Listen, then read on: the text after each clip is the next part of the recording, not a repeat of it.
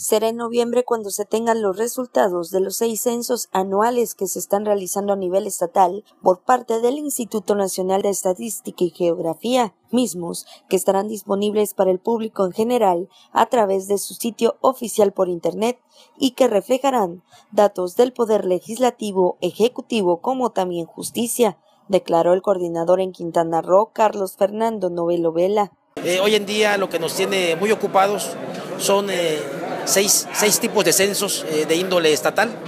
estamos levantando el censo del Poder Ejecutivo, el censo del Poder Legislativo, el censo de transparencia, el censo de los derechos humanos, el censo de la impartición de la justicia y el censo de la procuración de justicia durante todo este mes de, mes de abril y parte de mayo.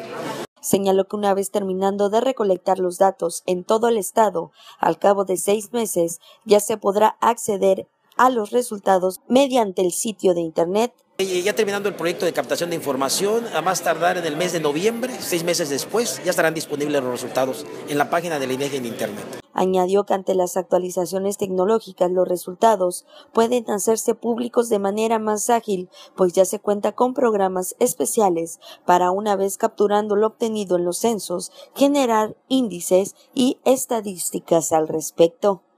Para Notivisión, Aurora Montiel.